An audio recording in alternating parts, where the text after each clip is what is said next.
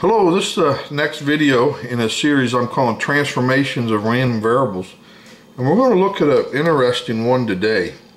Um, ultimately trying to find this, the distribution of this, which I'll explain. Um, here, we're going to let x be, uh, x1 through xn be independent random variables such that each xj has a continuous and strictly increasing distribution function f of j. Now we're going to set yj equal to fj of xj.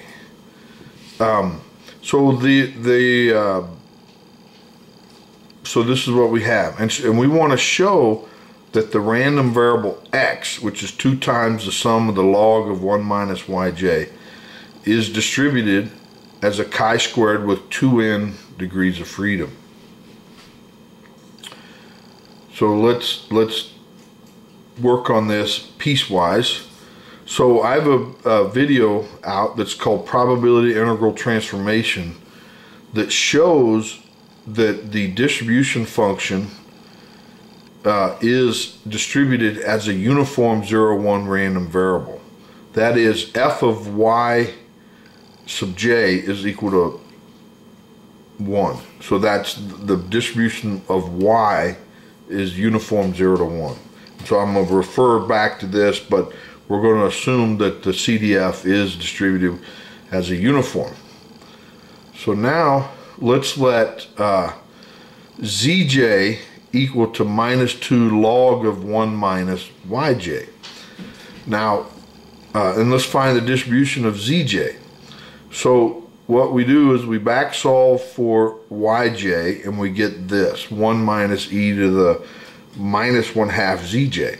And then the derivative of this with respect to zj is 1 half e to the minus 1 half zj.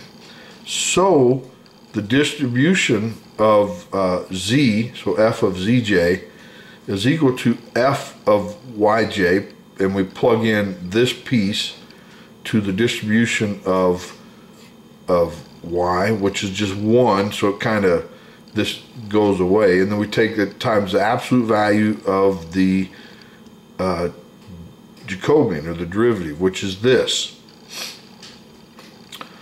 And since this is always positive, we didn't we didn't need the absolute values, but it probably should be there. Um, now, then we're left with this this function here. And as that can be seen, that's a chi-square with two degree, uh, chi-square with two degrees of freedom. So now I have um, a, or a, a video that's called Transformations, Sums of Chi-Square Random Variables, where I show that if we sum chi-square random variables with two degrees of freedom, the resulting uh, distribution, say x, is a chi-squared with two times n degrees of freedom. But the sum of the xij is, is this, that's what we let zj be, and then you can take the two out front, which then becomes this, and actually, and that's what we wanted to show we wanted to find the distribution of this, call it x, so that is chi-squared with 2n degrees of freedom, and that's what we wanted to show. So that's all I have for today. Hopefully you enjoyed it. If you did, please like it and subscribe so you don't miss the next one. Thanks. Bye.